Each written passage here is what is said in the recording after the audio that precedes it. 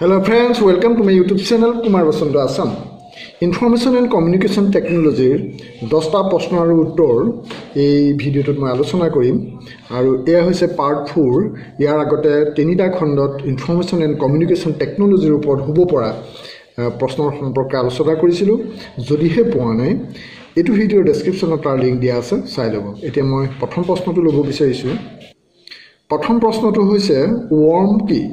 Warm হৈছে এবিধ computer virus এইখিনিতে মই এটা কৈ লওঁ যে মাল্টিপুল চইচ কুৱেশ্যন হিচাপে আহিব টেট পৰীক্ষাত কিন্তু ইয়াতে মই চাৰিটা অপশ্যন দি থোৱা নাই শুদ্ধ উত্তৰটো দি দিছোঁ যাতে এই কথাখিনিৰ পৰা পৰীক্ষাত নিৰ্বাচন কৰোঁতে সুবিধা হয়। ঠিক আছে? এতিয়া মই দুই নম্বৰ প্ৰশ্নটোলৈ আগবাঢ়িছোঁ। দুই নম্বৰ প্ৰশ্নটো হৈছে জয়ষ্টিকৰ কাম কি? ইনফৰ্মেশ্যন এণ্ড কমিউনিকেশ্যন টেকন'লজিত এটা বহুল ব্যৱহৃত আহিলাৰ নাম হৈছে জয়ষ্টিক সেই জয়ষ্টিকৰ কাম কি? এই সম্পৰ্কে দিছোঁ। এতিয়া ইয়াৰ উত্তৰটো হৈছে যে জয়ষ্টিক হৈছে মাউচৰ দৰে এবিধ আহিলা যিয়ে কম্পিউটাৰক কোনো কাৰ্য সম্পাদনৰ বাবে নিৰ্দেশ দিয়ে। এইবাৰ লৈছোঁ তিনি নম্বৰটো প্ৰশ্ন। তিনি নম্বৰটো প্ৰশ্ন হৈছে দংগল কি? দংগল বহুতে শুনি থকা। দংগল কি? এইটো ইনফৰ্মেশ্যন এণ্ড কমিউনিকেশ্যন টেকন'লজিত দংগলৰ বহুল প্ৰচলন আছে। তো দংগল হৈছে এবিধ U S B port dongle হৈছে ইউ এছ বি পৰ্টত লগাই ল'ব পৰা এবিধ আহিলা যাক কোনো প্ৰগ্ৰামৰ চাবিৰূপে ব্যৱহাৰ কৰিব পৰা যায়। এতিয়া মই ইয়াৰ পিছৰ প্ৰশ্নটোলৈ আগবাঢ়িছোঁ। চাৰি নম্বৰ প্ৰশ্নটো হৈছে উফাৰ কি?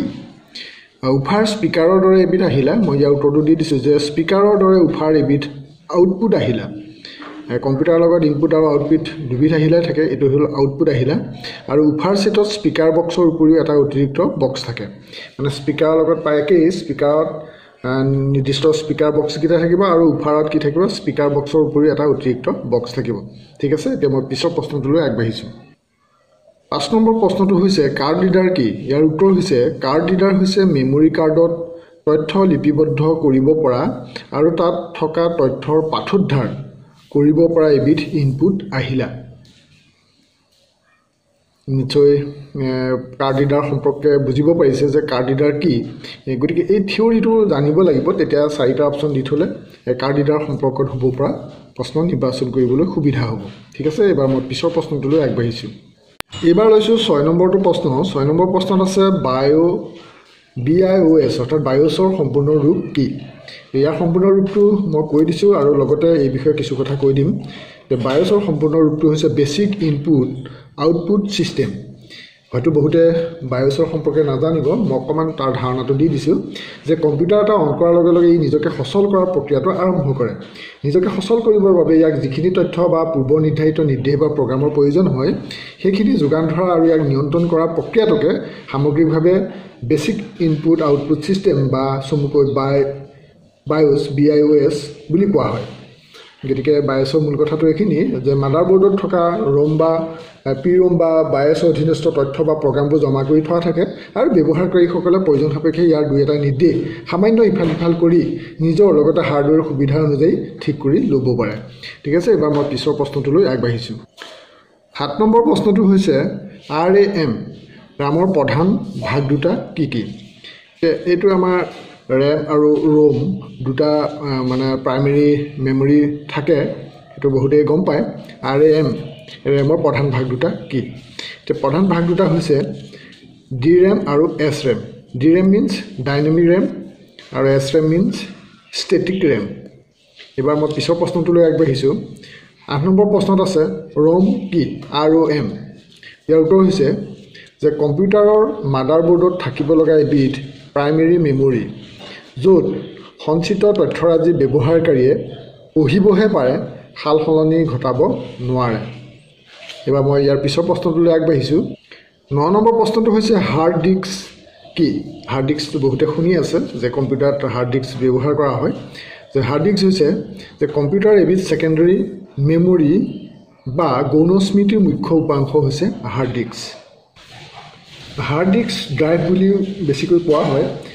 এইচ ডি ডি গতিকে হাৰ্ড ডিস্ক ড্ৰাইভ যথেষ্ট কম্পিউটাৰৰ লগত ব্যৱহৃত এটা শব্দ। বৃহৎ পৰিমাণৰ তথ্য সুদীৰ্ঘ দিনৰ বাবে নিৰাপদে সঞ্চিত কৰি ৰাখিবলৈ আৰু এনেদৰে ৰখা তথ্যৰাজিৰ পৰা দৰকাৰী তথ্যটো নিজে সহজে নিজ মানে ততালিকে আহৰণ কৰিব কৰিবৰ কাৰণে এই হাৰ্ড ডিস্ক ব্যৱহাৰ কৰা হয়। আৰু ই এটা আটাইতকৈ জনপ্ৰিয় আৰু নিৰ্ভৰযোগ্য আহিলা বুলি ক'ব পৰা হয়। এক চমুকৈ কি বুলি কয়? হাৰ্ড ডিস্ক ড্ৰাইভ বুলি এইচ ডি ডি বুলি কোৱা হয়। ঠিক আছে এইবাৰ মই দহ নম্বৰ প্ৰশ্নটো লৈছোঁ। দহ নম্বৰ প্ৰশ্নটো লৈছোঁ এন টি এফ এছৰ পূৰ্ণপাঠ কি? এন টি এফ এছৰ পূৰ্ণপাঠটো কি মই ইয়াতে দি দিছোঁ এই বিষয়ে অকণমান কৈও দিছোঁ। এন টি এফ এছ মানে হৈছে নিউ টেকন'লজি ফাইল ছিষ্টেম এতিয়া নিউ টেকন'লজি ফাইল ছিষ্টেম বিষয়ে মই কৈছোঁ যে এম এছ দছ অথবা উইণ্ড'জৰ পুৰণা সংস্কৰণসমূহে কিছুমান পদ্ধতি সংৰক্ষণ কৰি ৰাখিব নোৱাৰে। তথ্য সংৰক্ষণৰ হৈছে এটা নতুন পদ্ধতি এইটো এটা নতুন আৰু উন্নত পদ্ধতি এন টি এফ এছটো আৰু এই পদ্ধতিৰে সংৰক্ষিত তথ্যৰাজি অতিকে সুৰক্ষিত হয়।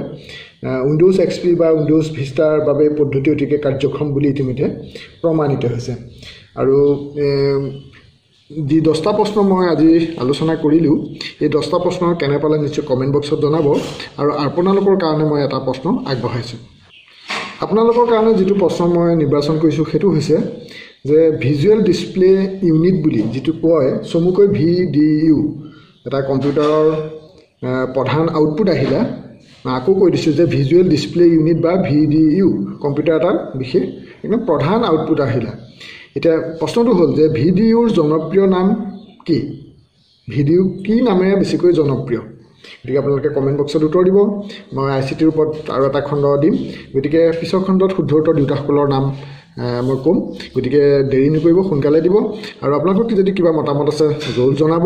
আৰু এইখিনিতে মই এটা কথা জনাম যে আপোনালোকক মই যি ধাৰাবাহিকভাৱে গণিতৰ মডেল কুৱেশ্যন আৰু স্পেচিয়েল ক্লাছ লগতে আই চি টিৰ যিখিনি মই ভিডিঅ' দি আছোঁ বা তাৰ আগতো মই স্পেচিয়েল ক্লাছৰ যোগেদি বিভিন্নখিনি আলোচনা কৰি আছিলোঁ। আৰু সেইখিনিৰ ওপৰত আপোনালোকৰ কেনেকুৱা ধাৰণা হৈছে বা কিমান উপকৃত হৈছে সেই বিষয়ে আপোনালোকে আধা মিনিটমানৰ ভিতৰত এটা মতামত জনাই আপোনালোকে আপোনালোকৰ ভিডিঅ' ক্লিপিংটো এইটো নাম্বাৰটো দি দিছোঁ এই নাম্বাৰত পঠাই দিব। মই নাম্বাৰটো ইয়াত লিখি দিছোঁ। সেইটো হোৱাটছআপত দি দিব।